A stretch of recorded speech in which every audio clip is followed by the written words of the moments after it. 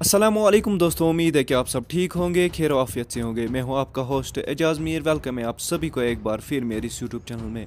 दोस्तों, कश्मीर में पीर के रोज़ चले कलान के आखिरी दिन ज़िंदगी दिरहम बरहम हो गई और तब से दो दिनों तक बर्फबारी जारी थी। दोस्तों महकमे मौसम के सरबरा, सोनम लोटस ने क्या कहा कि आगे क्या रहेगा सूरत हाल वो मैं आपको दिखाऊँगा। उससे पहले आपसे गुरु कैसे प्लीज़ चैनल को सब्सक्राइब कीजिए और बेल आइकन को दबाना ना भूलिए।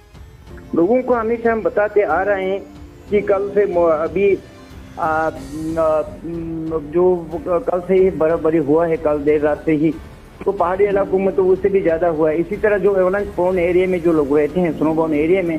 तो उनसे हम अगेन रिक्वेस्ट करते हैं कि सावधान रहिए एवलांस का खतरा हमेशा रहता है।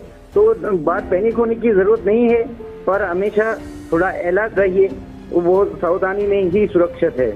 जी सोनम साहब ये भी बताइएगा जो मौसम है अभी अब आलूद है मौसम कब तक ठीक होगा? धूप परसों से ही कल नहीं कल चांसेस कम है परसों से ही धूप निकलने का इम्कान है। बहुत बहुत शुक्रिया सोनम साहब हमारे साथ बात करने के लिए।